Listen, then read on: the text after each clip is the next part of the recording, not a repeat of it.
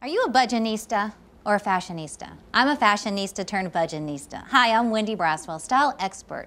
I'm here today to show you how to dress well for cheap, my favorite thing to talk about. Ladies, you do not have to spend full price. Save your money and put it towards other things, such as your family, a vacation. I'm going to share some tips with you today. First of all, you never want to pay retail. Wait for a sale. Check your flyers on the Sunday paper. Stay up with promotions, sign up for emails.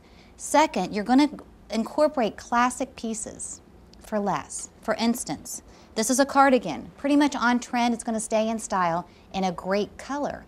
This was purchased at Forever 21, which is a discount outlet um, chain, but it's very, very trendy and in style. This was $6.80.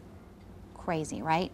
Also, tank tops in every single color. You can get them at Target Walmart, all the discount outlet places for less than $10.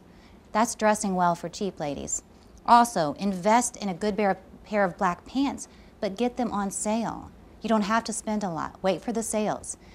A tip I always tell my clients, you want to wait till the weekends. Either shop Thursday through the weekend. That's when all the promotions start.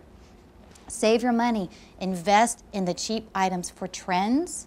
Don't spend a lot on that for trends as well. Um, Take note of the discount uh, retailers such as TJ Maxx, Marshalls, Ross. They have everything for half or more. So dress well for cheap, ladies. It's fun and you'll have extra money to go on a vacation. I'm Wendi Braswell. You can find me at wendibraswell.com.